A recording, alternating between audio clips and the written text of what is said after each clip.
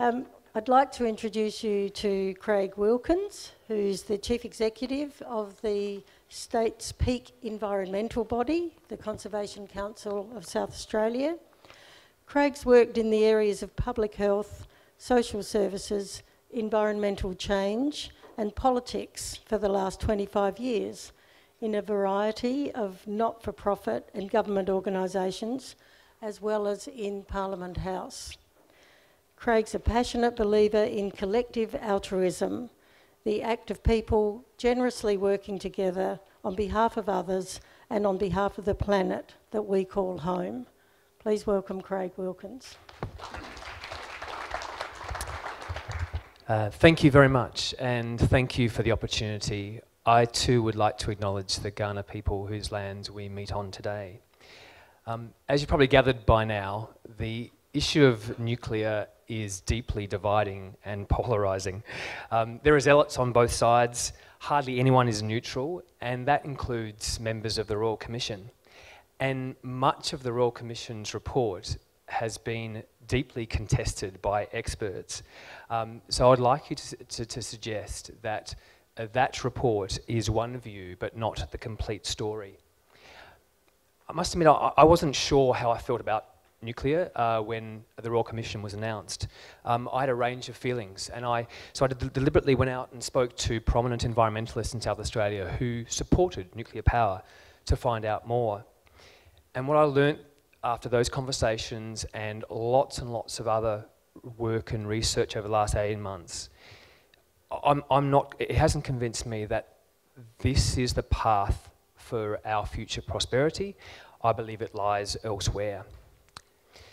So let's drill down into your role as members of the Citizens Jury, and thank you so much for taking on this important task.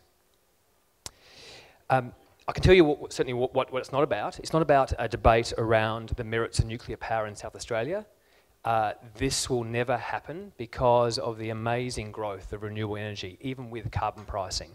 Uh, we are a world leader in renewable energy that will only increase, and nuclear power will never be a natural fit for that. So you can leave that to one side. Secondly, this is not about the safe storage of waste from medical purposes or the importance of x-rays or how, how lovely x-rays are. And I mean, I've, I've benefited from them, I like them too. Um, this is not about that and about how, how important they are because there is a, a separate, uh, specific federal government process to deal with that low-level radioactive waste what you're being asked to consider and what really is in contest is a very specific proposal to make money by importing high level nuclear waste into a part of the world that doesn't actually have it, and by doing so, turn South Australia into the world's largest nuclear waste site. The devil's are very much in the detail.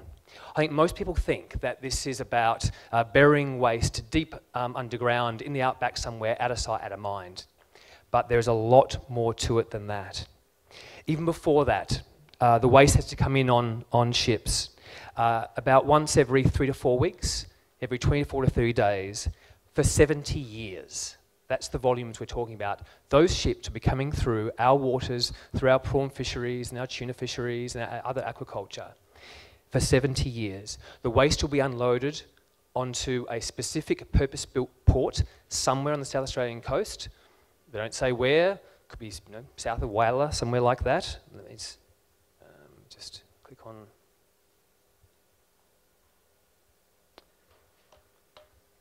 So somewhere on the South Australian coast, in our beautiful coastline, there'll be a purpose-built port. Then the waste is transferred to a separate facility around five kilometres, 10 kilometres from the coastline, where it will stay there for decades. They are talking about up to 60,000 tonnes of high level nuclear waste sitting above ground for around 80 years. This is not out of sight, out of mind. Um, this is a very prominent feature of our landscape which we are taking on.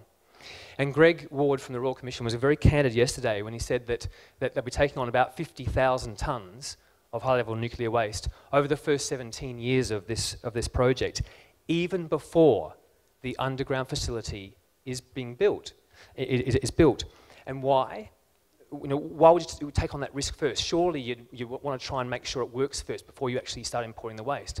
And the reason is the business case collapses unless they do that level of, of risk transference first. So let's talk about the economics. There is no market currently for international high level nuclear waste. It's never been transferred from one country to another with all its risks. So, to work out what a, a, a price a country will, will pay is essentially guesswork, it's assumptions and modelling.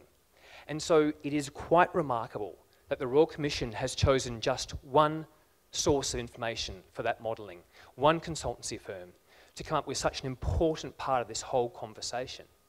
Because if the business case doesn't stack up, then why are we doing this? I've used one consultancy firm with known ties to the nuclear industry, with some perhaps some vested interests involved as well. So I'd really like to question some, some of those, that economic modelling behind the choices we're making. And then on, on, on the cost side, um, this is an industry which is, um, it has a, remarkable history of, of, of cost overruns. Um, let's see if it works. Here we are. So that's a picture of the Clinton nuclear power plant in the US. That uh, went 10 times over budget, 1,000% over, and two to three time cost overruns are very common in the nuclear industry, including in Finland and Europe and, and other places. This is part of the whole economics of nuclear um, all around the world. I mean, economists don't even know what interest rates will be in three months' time, let alone what the price for nuclear waste will be in 70 years.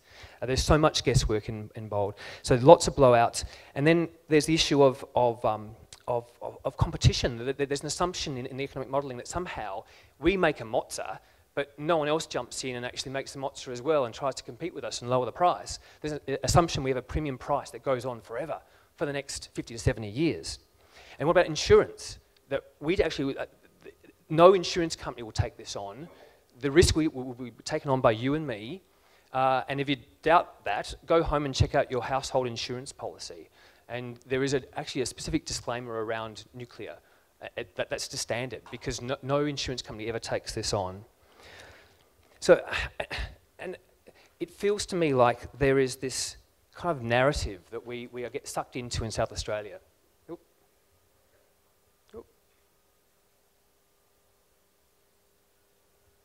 Sorry about that.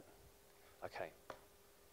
Um, of somehow this magic economic miracle which comes from overseas. Anyone remember the multifunction polis in, in, the 80s? Similar sort of kind of energy around that. If it's such a good deal, if we are going to make such amount of money that, that people are talking about, then why haven't other countries done it? Or why aren't they rushing to do it? Something just doesn't add up either the revenue just isn't there or the costs and risks and safety issues are so much greater. And so let me jump into those. Um, the safety issues, I'm not sure about you, but I'm, I'm horrified by the idea of turning parts of our coastline into essentially a sacrifice zone for that amount of time. The truth is, no one knows if we can do this safely. Not one country has worked out how to store high level nuclear waste safely for the length of time it remains dangerous to humans. You often hear about the Finland site. They are still building it. It won't take waste until the next decade. Um, and yet, even before it's complete, um, we're talking about taking on 20 times the volume that the Finns are, are planning to, to take without even checking to see if it works first. The only real life experience of deep underground waste facility of nuclear waste anywhere in the world is the waste isolation pilot plant uh, in New Mexico in the US. This, this, was supposed to be the best, the safest, the most advanced in the world. In 2014, after just 15 years of operation, there was a fire, unrelated rupture of a barrel, systems failures, workers being exposed. It was closed. It's still closed. And they, they reckon the cost will be about half a billion dollars to clean that up. That's the only real life experience. So quickly, just uh, I'm down to my last two minutes, but quickly with, with, with the ethics. You've often heard the argument about somehow because we export the uranium, we are duty bound to then import high level nuclear waste. The international law is very clear. The responsibility lies in the countries that produce the waste, and equally, I think a bigger responsibility lies with the companies that have actually profited from this industry for many, many years. Um, they're, they're, members of the World Nuclear Association, and they take on a cradle to, to, to grave management of this stuff. So why don't they turn some of their profits into finding a real waste solution rather than putting the responsibility back on, on us, on, on you and me? And we're not the only country with a, with a right geology, there are lots of others. And can I please put to bed this crazy argument that somehow we will have this sort of stable political space in terms of the length of time.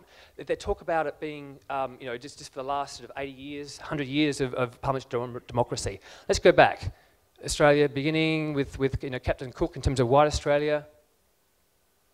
Go further, Magna Carta about 600 years ago. We go further back than that, eventually, if these slides work. Uh, okay, pyramids, 4,000 years. Mammoth, 10,000 years. Back to Neanderthal era. That's the kind of length of time we're talking in terms of whole of life cycle responsibility that we are taking on on behalf of ourselves and on behalf of future generations. So let me just finish. There are probably three, three things I'd like to really like you to remember in terms of those principles of what you should consider. Firstly, there's a, um, a real fatal flaw in this whole issue of economics versus safety. Because we can have the rolled gold standard safe option around, around this, but it's going to uh, come at a cost. So we can either have that real safe option or we can make profits. We can't have both. That's the first point. So I'd really ask you to, to, to question deeply the economics behind this. Secondly, which part of our South Australian coastline is going to be the sacrifice zone for this? Um, then we need to know the location before we proceed because all the, the environmental issues, sorry, I'll, we, we, one minute, um, all the environmental issues around um, uh, water and, and, um, and, and, and, community concerns and uh, will only be known once we actually find the location. And then lastly, about what, why the rush? Why we, like, like this stuff lasts for generations. We've been given a few months to decide. And ultimately, I think we can do better. So I would actually encourage you to consider actually, rather than going through the gate, actually pausing, stopping, and closing the gate for a while. The waste will still be here in 10 years' time. Let's perhaps consider it then, but not now.